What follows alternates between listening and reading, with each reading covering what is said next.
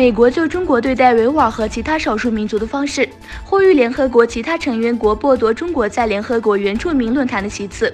中国今天怒批美国代表作出不合理指控。美国外交官尼莫夫今天说，这个联合国论坛的任务是负责保护全世界原住民。中国对待维吾尔族的方式应该作为决定论坛成员的要素。尼莫夫说。超过一百万名维吾尔人、哈萨克人、吉尔吉斯人和其他穆斯林在中国新疆在教育营遭任意拘留、强迫劳动、虐待和死亡。美国对此感到担忧。一名中国外交官强烈驳斥美国相关指责。他说：“这名美国代表对中国做出不合理的指控，诽谤中国。”中国当局继续实施一项镇压政策，以消除东突厥斯坦的维吾尔文化和身份。突厥和伊斯兰世界的漠不关心，使中国越来越有信心采用新的同化政策。据报道，中国当局在和田区皮山县迫使维吾尔族女孩与汉族人结婚，并于五月五日举行集体婚礼。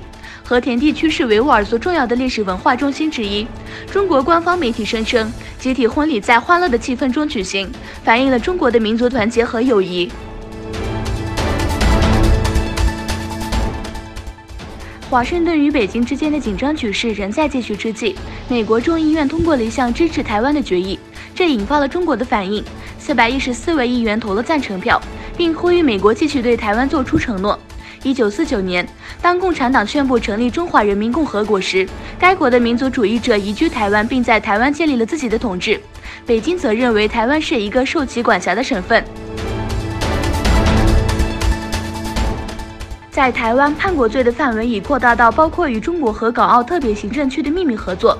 据台湾通讯社报道，台湾立法院通过《国家机密保护法》部分条文修正草案，规定将中港澳等地区列入国家机密保护法规范范围内。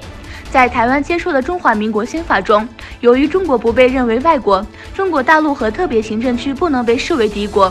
该修正案消除了这种不确定性，为此类诉讼铺平了道路。